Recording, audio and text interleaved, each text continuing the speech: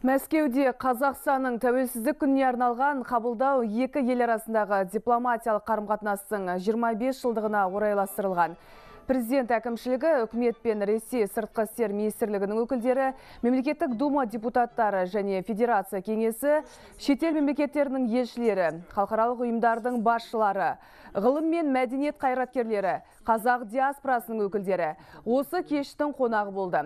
Қазақстандықтарды құттықтап сөз алғандар екі ел арасында қарым-қатынасқа назар аударды.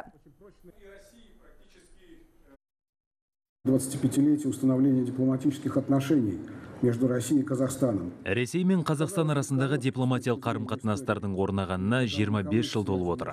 Қос халықтың арасындағы сан ғасырлық байланыс пен тарих тұрғысынан қарағандағы қысқа мерзім ішінде талай маңызды оқиға болды.